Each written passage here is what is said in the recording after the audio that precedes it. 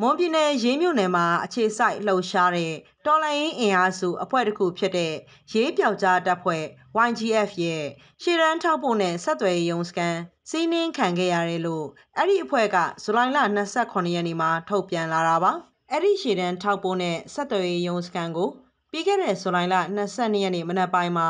အမည်မသိလက်နက်ကင်အဖွဲ့တစ်ဖွဲ့ကဝင်းရောက်စီးနင်းခဲ့တာဖြစ်ပြီးလက်နက်ခဲယမ်းတံမိုးကျပ်သိန်း2000နီးပါးဆုံးရှုံးခဲ့တယ်လို့ထုတ်ပြန်ချက်မှာဖော်ပြပါတယ်။စခန်းဝင်ရောက်စီးနင်းခံရစဉ်ရေးပြောက်ကြားတပ်ဖွဲ့ကရဲဘော်တူ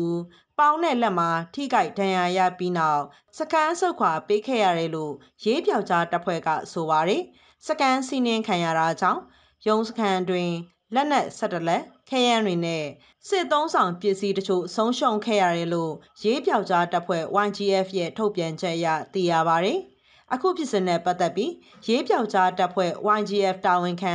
ဘုံကျက်ရစ်ကိုတာလွန်တိုင်းက ဆက်သွယ်မေးမြန်းဖို့ ကြိုးပမ်းနေပေမဲ့ လက်ရှိအချိန်ထိ အဆက်အသွယ်မရသေးပါဘူး။ရေးပြောက်ကြားတပ်ဖွဲ့ YGF ဟာ